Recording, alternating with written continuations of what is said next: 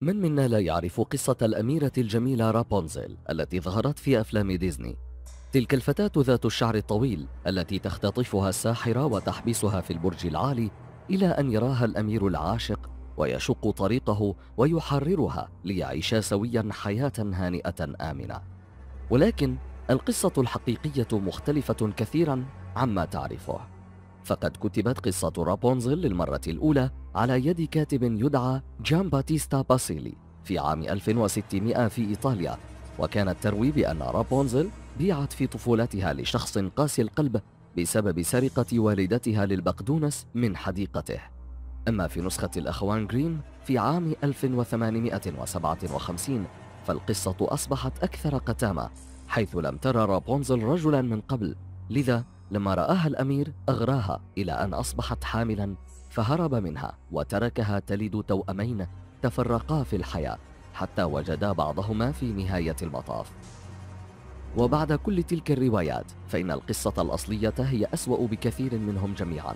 فرابونزل الحقيقية لم تحبسها الساحرة الشريرة بل أسوأ من ذلك كثيرا. دعونا نقص عليكم.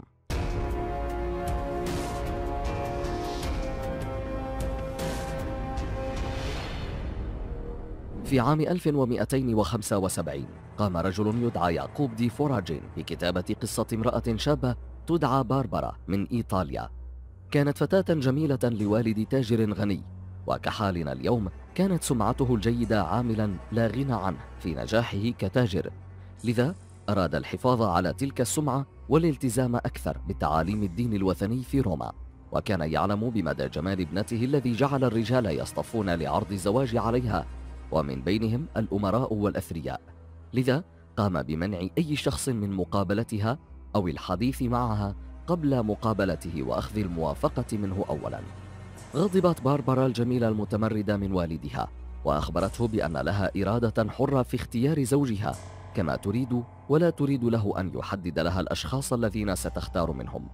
وبدأت برفض الجميع. وبعد تفاقم سوء التفاهم بين الأب وابنته المتمردة خشي من سفره وتركها بمفردها بسبب ظروف تجارته.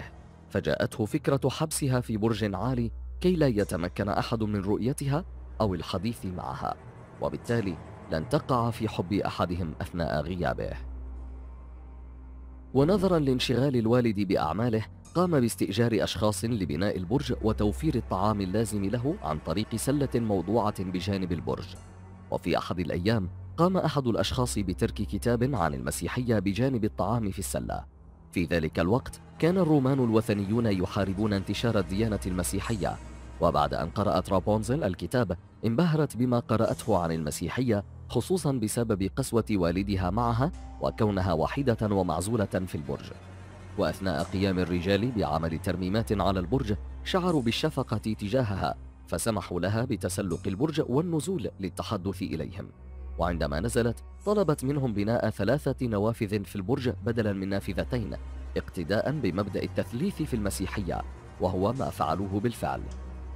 عاد الوالد إلى منزله معتقدا بأنه نجح بعزل ابنته عن العالم الخارجي ولكنه تفاجأ بأنها قد خرجت من البرج ودمرت كل أصنامه وانضمت للمسيحية أي أنها قانونيا ارتكبت جرما قد يؤدي إلى قتلها. قام الأب بتسليم ابنته إلى السلطات ولا ندري إن كانت تلك قسوة متعمدة أم أنه كان مجبرا لأن يطيع القانون. على أي حال أمسك الأب بشعر ابنته الطويل وجرها إلى المحكمة الرومانية حيث سألها القاضي عن جريمتها لترد أنها آمنت بالرب واعتنقت المسيحية. بعد ذلك بدأ الناس بتعذيبها حيث سلخوا جلدها بالسكاكين وألقوا بالملح داخل جروحها كما أحرقوا بشرتها الجميلة وبعدما خارت كل قواها قام والدها وبنفسه بقطع رأسها بالسكين. بعد وفاتها أصبحت باربرا شهيدة في الكنيسة الأرثوذكسية الشرقية وتم منحها لقب قديس. وكما نعرف فإن ذلك اللقب يشترط أن يكون حامله قد قام بمعجزة.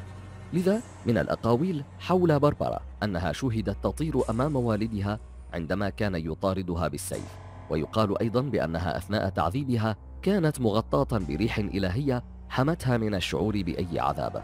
وأخيرا يقال بأن البرق ضرب والدها فور قتله لها. بعد قراءة قصة القديسة باربرا قد تلاحظ أن هناك شيئا مفقودا. ماذا عن شعرها الطويل؟ فكل صور باربرا تصورها بشعر طويل ولكن ليس كافيا لإسقاطه من البرج واستخدامه كحبل. لذا فمن المحتمل أن تكون قصة الشعر الطويل وتسلقه تعود لرواية مشابهة. وعلينا أيضا أن نخبرك أنه في كتاب الملحمة الفارسية الشهنامة أو ما يعرف باسم كتاب الملوك والذي جمع قصصا لجميع الرجال الذين أصبحوا ملوكا في بلاد فارس القديمة. هناك قصة رابونزل الفارسية.